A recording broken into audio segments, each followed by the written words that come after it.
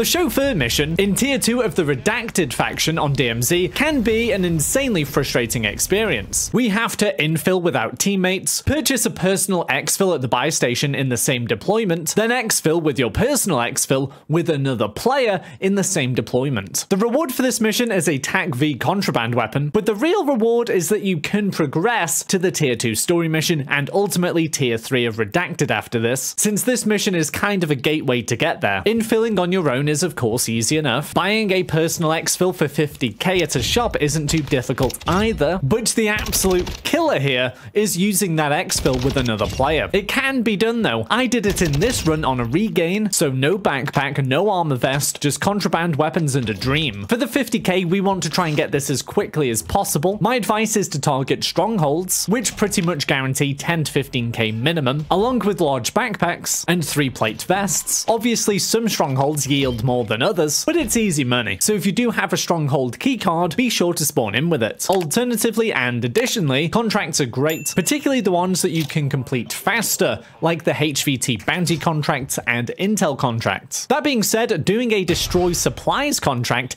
is great because you get cash for completing it, and then it tells you where safes are in your vicinity. So you can go around and crack a few of these safes afterwards for a lot of cash too. If you are leaving it later in the game, supply drops are another great way for quick and easy cash as well. Okay, so that's the 50k part more or less sorted. Now it's the bit where we need to get someone on our team and on the personal exfil chopper with us. Generally, Ashika Island is better for assimilation with other players I found, for the simple reason that it's a smaller map and there are just more engagements with other operators. I've played quite a few games where there are just people lying around asking to be picked up, giving us great opportunities for getting them on our team and personal exfil. That being said, it can be done on Al Mazrah too, and whichever map you're on, I advise to go to busy areas or areas you know players are in, and then just try and talk to them to team up. Or if they're not talking, send out invitations to join a team nearby. You can get lucky and end up talking to some nice people who want to team up, or just people that are so afraid they accept your invitation to team up. Or I found more success by downing people or killing people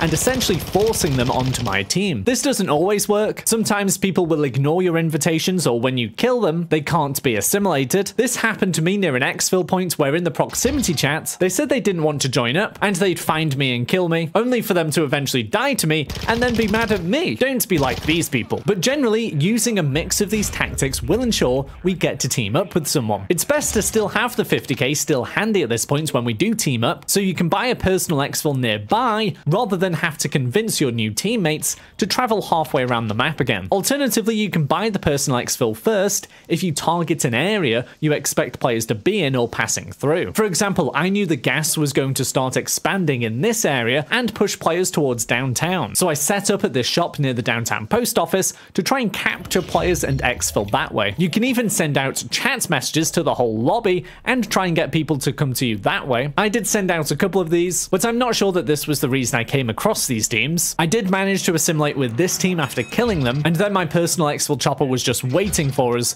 to make it nice and easy. So there are ways to make a fast 50k, and there are various strategies to get joining up with other players, including chatting with them in proxy, sending out team invites, or just killing them and forcing them on board. But what was clear during this mission is that you need a bit of luck. If you are struggling with any missions, by the way, you can become a deluxe member of the channel and join in in our weekly gameplay days where I can help you out. And now that you're done here, why don't you check out the best free skins you can get in Warzone 2 right now?